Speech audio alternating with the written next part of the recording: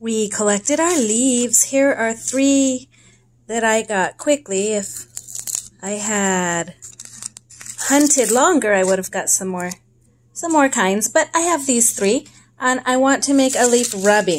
So I'll do one at a time. I'll start with this one. This one's interesting. Still has some green color in it, but it's broken.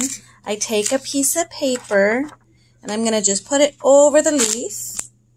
And then I, you could see I peeled off the paper uh, from the crayon because I think it's better to do it like this. So you take it and you just rub.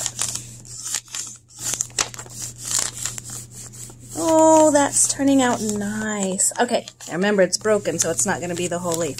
All right, I used fall color, orange. Now here's my next leaf. I think I'm going to let it overlap a little bit. So I'm going to take this one out, and then I'm going to put this one under the leaf. And I removed the other one already. So, uh, it's okay if it overlaps a little bit.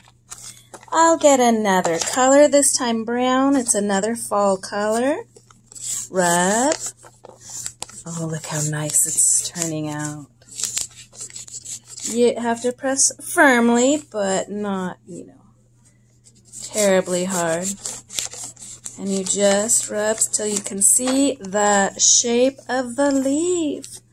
Oh, I think mine's turning out nice. And it does work best when you hold the crayon sideways like that. Right, have one more color, and I have one more leaf, so I'm going to remove this one, take this one out, and here's my last one. It's a little one.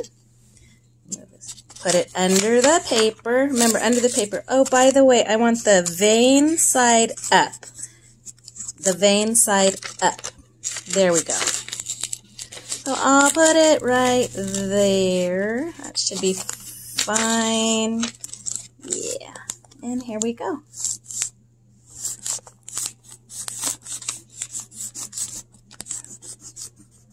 Very cute.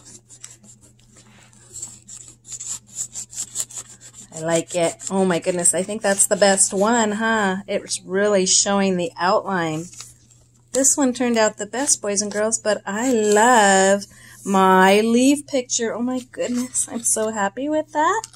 I haven't done that in years, and I think it's beautiful. You've got fall colors, you've got the leaves showing, and uh, lovely, lovely. Good luck with yours.